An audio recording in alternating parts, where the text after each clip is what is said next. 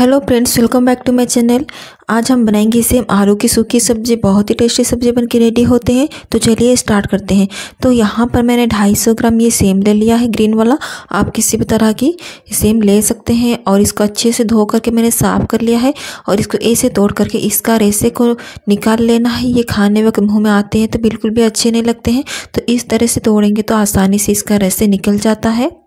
तो इस तरीके से दो से तीन पीस मैंने कर लिया है।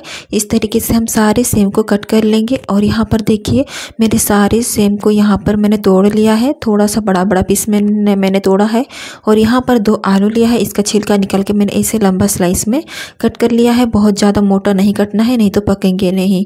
और अभी हम इसका भुजिया बनाएँगे तो दो से तीन टेबल स्पून हम यहाँ पर ऑयल डाल देंगे और जैसे ही गर्म हो जाएगा हम यहाँ पर डाल देंगे सरसों। सरसों को यहाँ पर अच्छे से चटकने देंगे। उसके बाद यहाँ पर हम डालेंगे चिली और यहाँ पर एक बड़ा सा प्याज मैंने डाला है और इसको हल्का सा कलर चेंज होने तक भून लेंगे। हल्का सा ब्राउन कलर आने तक इसको भून लेना है। तो यहाँ पर देखिए प्याज का कलर चेंज हो चुका है और इसका हल्का सा ब्राउन कलर आ गया है। तो अभी हम यहाँ पर डाल डाल देंगे सेम और आलू को। एक ही साथ में हम डालेंगे।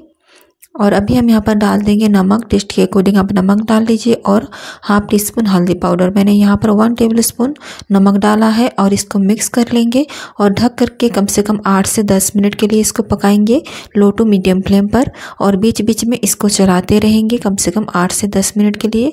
तो यहाँ पर देखिए आठ से दस मिनट हो गया है और सेम आलू थोड़ा सा सॉफ्ट हो गए हैं पर अच्छी तरह से पका नहीं है, ये अभी भी कच्चा है। तो अभी हम यहाँ पर डालेंगे कुछ मसाले। तो यहाँ पर मैंने हाफ़ टी स्पून ये धनिया पाउडर और हाफ़ टी स्पून जीरा पाउडर डाल दिया और यहाँ पर मैं टमाटर डाल रही हूँ। एक मीडियम साइज़ का टमाटर लिया था, इसको डाल देंगे और मिक्स कर लेंगे और टमाटर को सॉफ्ट होने तक इसको पका लेना है। और ये सेम आलू थोड़ा सा पक चुके हैं। देखिए, मैंने आलू एक तोड़ के दिखाती हूँ। थोड़ा सा यहाँ पर कसर बाकी है ऑलमोस्ट पक चुका है तो ये टमाटर पकने के साथ साथ आलू भी आसानी से पक जाएगा। तो इसको ढक करके और चार से पाँच मिनट के लिए हम पका लेंगे लो टू मीडियम फ्लेम पर और बीच बीच में इसको चलाते रहेंगे। और यहाँ पर देखिए पाँच मिनट हो गया है और ये सेम आलू की सब्ज़ी बन कर के रेडी हो गया है। टमाटर अच्छी तरह से पक गया है और ये आलू सेम भी अच्छी तरह से पक गया है। लास्ट में हम गैस का फ्लेम को पूरी तरह से हाई कर लेंगे ताकि ये हमारी सेम आलू थोड़ा सा खिला खिला बने और इसको गर्मा गर्म रोटी, चावल किसी के साथ भी खा सकते हैं। बहुत ही अच्छा लगता है। ईजी रेसिपी है। आप इसमें एक बार ज़रूर से ट्राई कीजिए। अगर रेसिपी पसंद आया तो लाइक सब्सक्राइब से ज़रूर कीजिएगा। Thanks for watching Thank you.